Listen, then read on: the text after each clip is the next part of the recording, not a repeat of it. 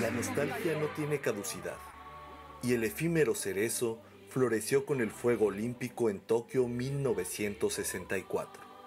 Dos vidas se cruzarían fuera del tartán y el gimnasio para narrar otra historia olímpica. Después de, después de la preparatoria, yo vine aquí en el parque. He conocido, a conocido a un profesor mexicano del Comité Olímpico. Eh, encontré aquí Comata, Parque de Comatawa. Cuando en 1974 Tokio hubo las Olimpiadas de Tokio y luego cambiamos de, eh, teléfono.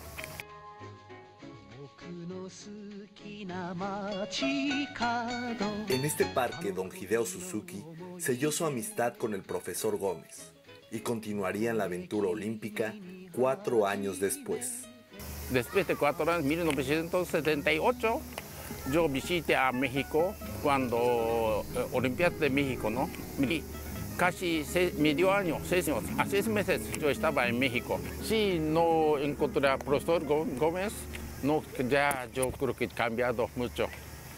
No habrá español o inglés tampoco. Bienvenidos a mi casa. Don Suzuki-san nos invita a su casa para mostrarnos sus tesoros olímpicos, que conserva con extremado cuidado, ya que son regalos del profesor Gómez.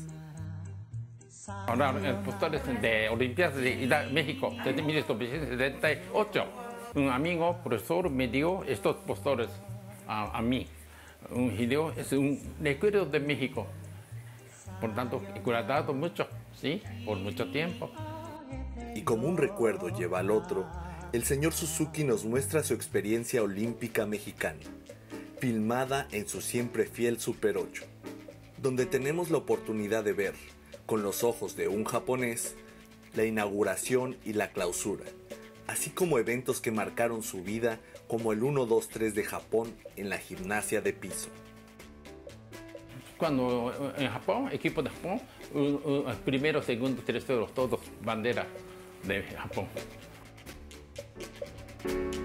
En su sala, la luz cálida de la tarde va invadiendo el espacio y los recuerdos de aquel viejo magazine siguen proyectándonos el México que vivió don Suzuki-san hace casi 50 años. Cuando ha visitado a México eh, en algunos lugares, Guanajuato, Guadalajara, Tuxpan, Puebla, Tlaxcala de Chautempan, centro de México es más México, a mí me gusta más. Yo estaba casi medio año en Pachuca, ¿no? Primer centenario de Hidalgo, ¿no? En el estado de Hidalgo. Ya yo saqué a, los cine, ¿no?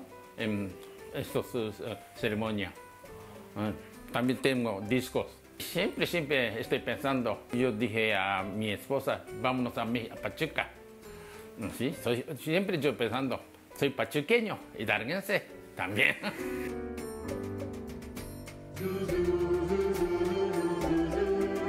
Natsukashi, la nostalgia, esa que materializa el amor al tiempo, según la semántica personal, puede tener forma de canción o de sombrero. A música sí, muchos, muchos. Tú panchos, ¿no? Tú haces. En Tokio voy a cantar en, español la canción, esas canciones, Tú panchos, ¿no? Bésame mucho, como si fuera esta noche la última vez. Bésame, oh, sí, compré yo México. Oh, no, no, no. ¿Sí? Ok. Ah, sí, ya por 47 años, yo sí, en 1978 yo compré, tal vez.